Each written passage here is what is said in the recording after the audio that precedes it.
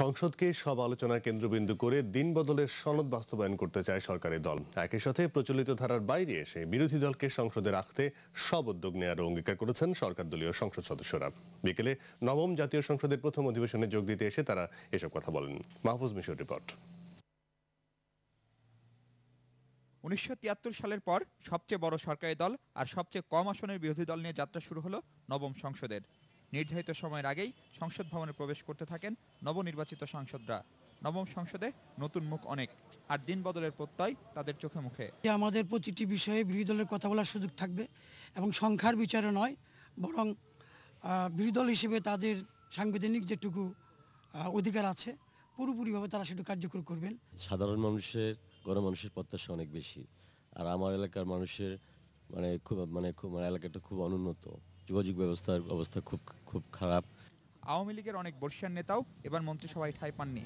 তা নিয়ে কোনো অভিযোগ নয় বরং নিজেদের অভিজ্ঞতাকে কাজে লাগিয়ে সংসদকে কার্যকর করতে ভূমিকা রাখতে চান তারা। আমি তো এমপি হয়ে আসলাম তো এটা তো মনক্ষণ হওয়ার কারণই তো নাই। জনগণের কাছে আরও গেলাম। শেখ হাসিনাকে ভোট দিয়েছে তাদের তাদের স্বার্থ রক্ষার জন্য তাদের জীবনযাপন সুন্দরভাবে করার জন্য। আমরা সেই চেষ্টাই করব। সংখ্যাগরিষ্ঠ বড় কথা নয় আমরা সকলে মিলেই রাষ্ট্রটা পরিচালনা করব। ভাত কাপড় শিক্ষা স্বাস্থ্য বিদ্যুৎ যেগুলো না হলেই দৈনন্দিন জীবন চলে না সেই প্রত্যাশাগুলো পূরণ করাটাই আমাদের মূল লক্ষ্য। আর সরকারের শরিক দলের এমপিরাও বললেন বিরোধী দলকে সংসদে রাখতে সব চেষ্টা করা হবে। আমরা সরকারের গঠনমূলক সমালোচনা করব এবং আমরা মনে করি এই ধরনের আলোচনার মধ্য দিয়ে দেশের মানুষের ভাগ্য পরিবর্তনের জন্য জাতীয় পার্টি যথেষ্ট অবদান রাখার সুযোগ পাবে। তারা প্রতিশ্রুতিবদ্ধ যে তারা সংসদকে কার্যকর করবেন এবং সংসদে অংশগ্রহণ করবেন। সংসদ অধিবেশনে হট্টগোল বা ফাইল ছড়াছড়ির সংস্কৃতিরও পরিবর্তন হবে বলে আশাবাদী নতুন সাংসদরা।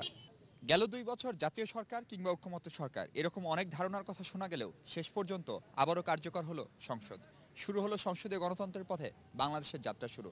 সাধারণ মানুষের প্রত্যাশা, গণতন্ত্রের এই অগ্রযাত্রা অব্যাহত থাকবে অনন্তকাল। জাতীয় সংসদ ভবন থেকে মাহফুজ মিশু, একুশে টেলিভিশন, ঢাকা।